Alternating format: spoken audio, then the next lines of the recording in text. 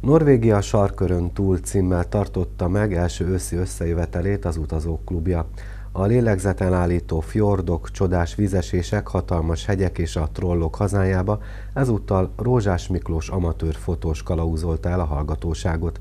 Az előadásnak a Krúdi Gyula Városi Könyvtár kamaraterme adott otthont. Rózsás Miklós idén-nyáron járt Norvégiában az északi sarkörön túli területeken. Az amatőr fotós a skandináv félszigeten fekvő ország városait és falvait, valamint lenyűgöző természeti csodáit egyaránt megtekintette. Teljesen vegyes volt, a fjordoktól a városokig mindent megnéztünk, illetve hát a kisebb falvakig, illetve hát a főút legvégén lévő település volt a legérdekesebb, ahol magyarokkal is találkoztunk, szinte majdnem mindenhol.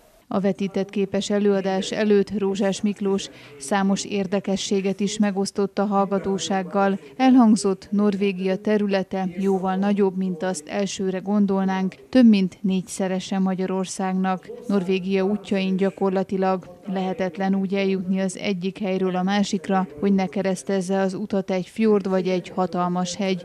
Éppen ezért rengeteg alagút van az országban. Itt található a világ leghosszabb, több mint 24 kilométeres járata is. Az északi sarkörön túl, amerre most járunk, nyáron változékony, esős, szeles, napsütéses és gyakran ködös területenként változó a hőmérséklet, 13 és 17 Celsius fok között van. Télen mínusz 12 és mínusz 20 Celsius fok az átlaghőfok, a földok viszont nem fagynak be a golf áramlatnak köszönhetően. Norvégia, a lélegzet elállító fjordok, a csodás vízesések, a hatalmas hegyek és a trollok hazája. Skandinávia égkövében található Európa legészaki pontja is a Nordkap.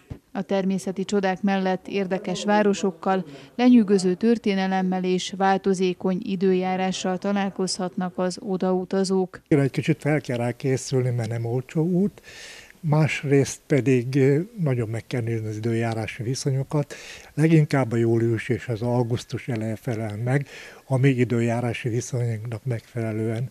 Egyébként, aki az északi fényt akarja látni, és a legészaki pontról, annak pedig a novembert, októbert ajánlanám. Rózsás Miklós észak-norvégiai útja során a már jól megszokott módon számos fényképet is készített, amelyeket egy színes prezentáció formájában osztott meg az érdeklődőkkel.